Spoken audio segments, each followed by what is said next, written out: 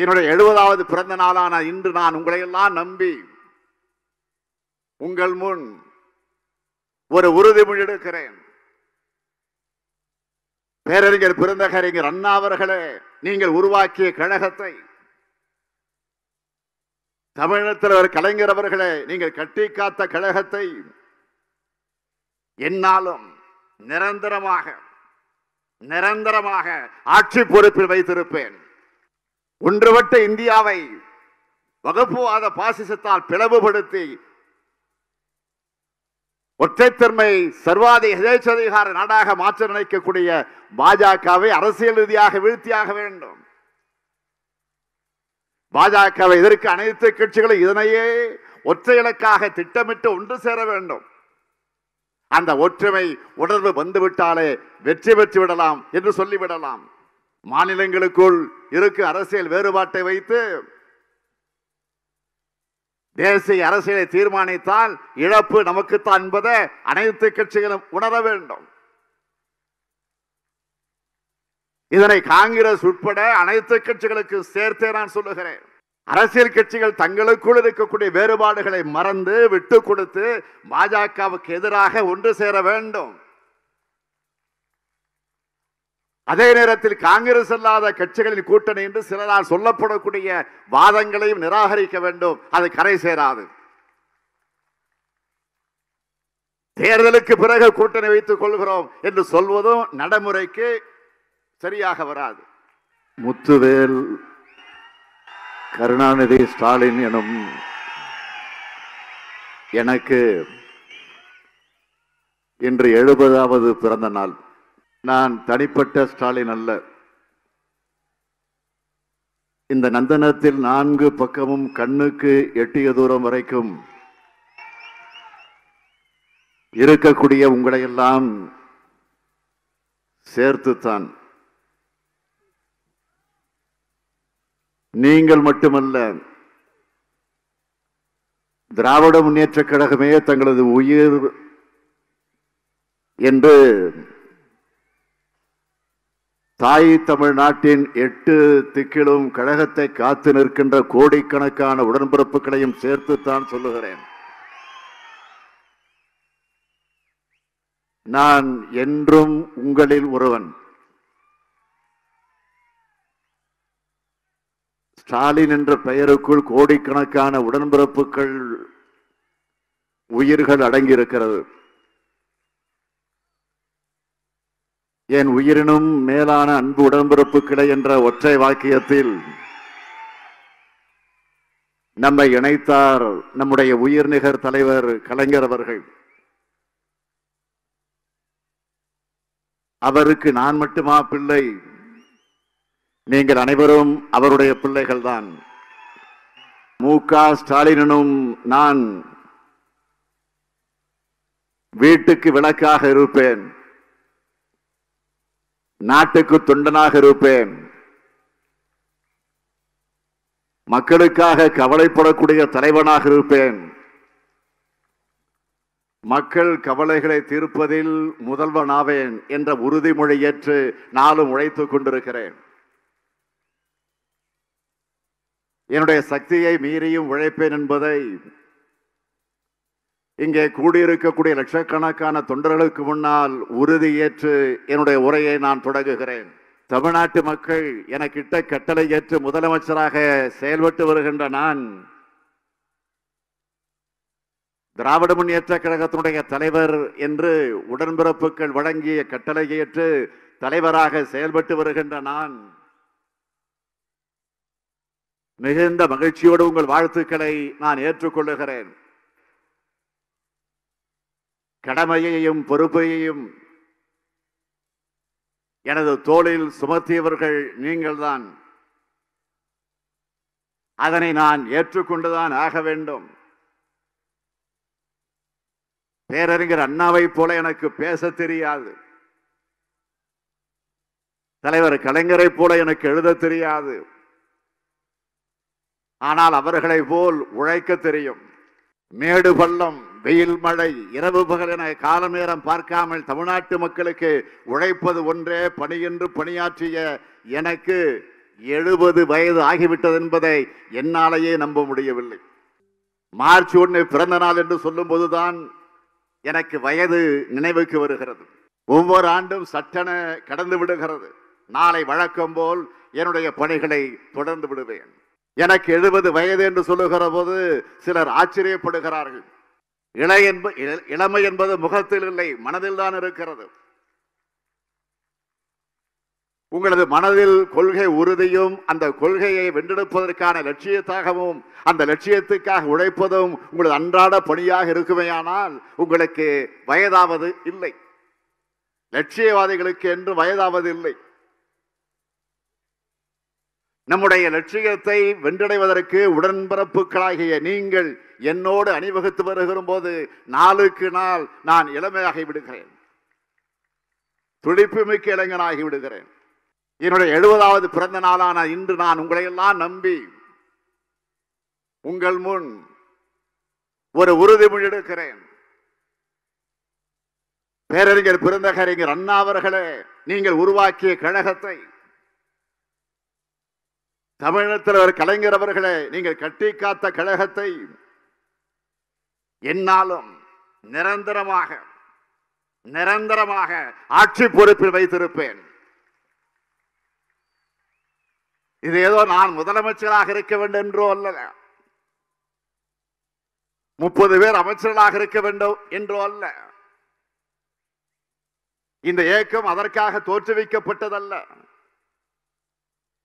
பாராண்ட தமிழினம் இடையில் ஏற்பட்ட பல்வேறு பண்பாட்டு படையெடுப்புகளால் அடிமைப்பட்டு கிடந்ததை மீட்க நூறு ஆண்டுகளுக்கு முன்னால் திராவிட இயக்கத்தை காக்கக்கூடிய கடமை நமக்குத்தான் இருக்கிறது.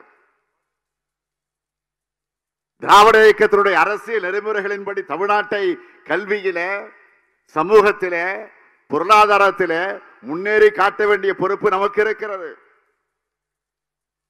இந்த ரெண்டும் தான் நம்முடைய இரு லட்சிய கண்கள்.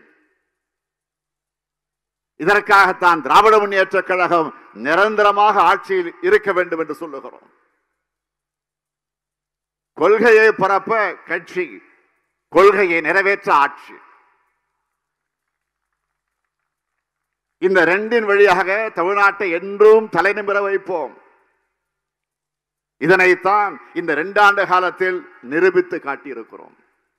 இந்த ஸ்டாலினின் பான்- பாணி சொல்லாததையும் செய்வோம் சொல்லாமலும் செய்வோம். இது என்னை பொறுத்தவரையில் என்னை பொறுத்தவரையில் நம்பர் ஒன் முதலமைச்சர் நம்பர் ஒன் தமிழ்நாடு என்று அங்கீகாரம் பெறுவதை விட நம்பர் ஒன் நன்மைகள் தரக்கூடிய காலமாக நம்முடைய ஆட்சி காலம் அமைய வேண்டும். அதனால்தான் தமிழ்நாட்டினுடைய எல்லைகளை தாண்டி அனைவரது கவனத்தையும் ஈர்த்திருக்கிறது நமது திராவிட மாடல் ஆட்சி. இது எனது பிறந்தநாள் பொதுக்கூட்ட மேடையாக மட்டுமல்லாம இந்தியாவில் புதிய அரசியலுக்கான தொடக்க விழா மேடையாக அமைந்திருக்கிறது. இதுதான் எனக்கு மகிழ்ச்சி தருகிறது. இன்றைய காலத்திற்கு மிக மிக தேவை ரெண்டாயிரத்தி இருபத்தி நாலு நாடாளுமன்ற தேர்தல். அதில் யார் ஆட்சி அமைக்க வேண்டும் என்பதை விட யார் ஆட்சி அமைத்து விடக்கூடாது என்பதற்கான தேர்தல் அது. ஒன்றுபட்ட இந்தியாவை வகுப்புவாத பாசிசத்தால் பிளவுபடுத்தி ஒற்றைத்தன்மை சர்வாதி எதேச்சதிகார நாடாக மாற்ற நினைக்கக்கூடிய பாஜகவை அரசியல் ரீதியாக வீழ்த்தியாக வேண்டும். பாஜகவை எதிர்க்க அனைத்து கட்சிகளும் இதனையே ஒற்றை இலக்காக திட்டமிட்டு ஒன்று சேர வேண்டும். அந்த ஒற்றுமை உணர்வு வந்துவிட்டாலே வெற்றி பெற்று விடலாம் என்று சொல்லிவிடலாம். மாநிலங்களுக்குள் இருக்கு அரசியல் வேறுபாட்டை வைத்து தேசிய அரசியலை தீர்மானித்தால் இழப்பு நமக்குத்தான் என்பதை அனைத்து கட்சிகளும் உணர வேண்டும். இதனை காங்கிரஸ் உட்பட அனைத்து கட்சிகளுக்கு சேர்த்தே நான் சொல்லுகிறேன். தமிழ்நாட்டில் கடந்த நான்காண்டு காலமாக நடந்த அனைத்து தேர்தலிலும் வெற்றி பெற்றிருக்கிறோம் என்றால் அதற்கு இந்த ஒற்றுமை என்ற அந்த அடிப்படை தான் இதனை இரண்டாயிரத்தி இருபத்தி ஓராம் ஆண்டு சேலம் பொதுக்கூட்டத்தில் அருமை சகோதரர் ராகுல் காந்தி அவர்களை வைத்துக் கொண்டே நான் சொன்னேன்.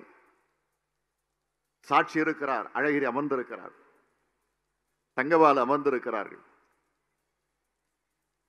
தமிழ்நாட்டை போல ஒற்றுமையான கூட்டணியை அகில இந்திய முழுமைக்கு அமையுங்கள் என்று சொன்னேன். அரசியல் கட்சிகள் தங்களுக்குள் இருக்கக்கூடிய வேறுபாடுகளை மறந்து விட்டு கொடுத்து பாஜகவுக்கு எதிராக ஒன்று சேர வேண்டும். அதே நேரத்தில் காங்கிரஸ் அல்லாத கட்சிகளின் கூட்டணி என்று சிலரால் சொல்லப்படக்கூடிய வாதங்களையும் நிராகரிக்க வேண்டும். அது கரை சேராது. தேர்தலுக்கு பிறகு கூட்டணி வைத்துக் கொள்கிறோம் என்று சொல்வதும் நடைமுறைக்கு சரியாக வராது. ஒரே ஒரு எய்ம்ஸ் மருத்துவமனை அறிவித்துவிட்டு நான்கு ஆண்டுகளுக்கு முன்னால் அடிக்கல் நாட்டிவிட்டு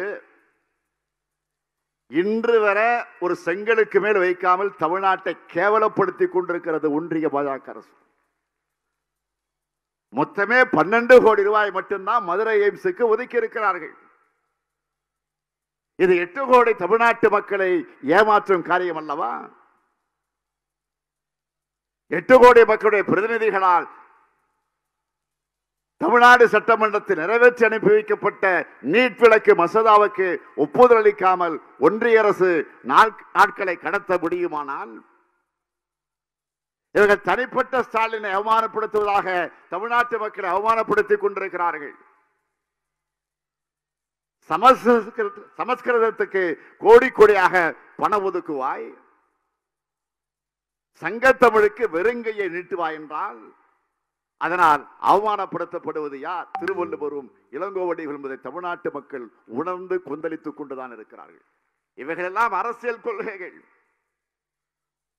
ஆன்லைன் ரம்மியை தடை செய்ய ஒரு சட்டம் கொண்டு வந்து நிறைவேற்றி அனுப்பினோம். அதற்கு கூட இங்கே ஆளுநராக இருப்பவர் ஒப்புதல் அளிக்கல மகாபாரதத்தில் சூதாட்டம் இருக்கிறது என்று நினைத்து தடை செய்ய மறுக்கிறார்களா? நான் கேட்கிறேன். பாஜக அல்லாத மாநிலங்களுக்கு நிதி ஒதுக்கீடுகள் இல்ல முறையாக நிதிகளை வழங்குவதில்லை? ஜிஎஸ்டிக்கு பிறகு நிதி உரிமைகள் மாநிலங்களுக்கு இல்லவே இல்லை? இழப்பீடுகளை உரிய காலத்தில் தருவதும் கிடையாது. ஒன்றிய நிதி நெருக்கடி தமிழ்நாட்டுக்கு எந்த பெரிய திட்டங்களும் கிடையாது.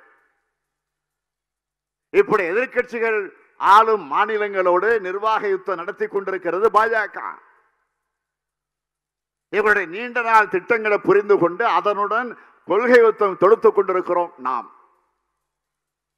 அதில் வெற்றி பெறுவதற்கான வாய்ப்பு தான் நடைபெற இருக்கின்ற நாடாளுமன்ற தேர்தல் களம். அந்த களத்தை நோக்கிய பயணத்திற்கு போர் வியூகங்கள் வகுக்கக்கூடிய பாசறை கூட்டமாக எனது பிறந்தநாள் பொதுக்கூட்டம் அமைந்திருப்பது எனக்கு மகிழ்ச்சி அளிக்கிறது. வருகை தந்துள்ள அகில இந்திய தலைவர்கள் இந்த தகவல்களை டெல்லிக்கு எடுத்து சொல்லுங்கள். இந்திய துறைக்கண்ட முழுமைக்கு எடுத்து சொல்லுங்கள்.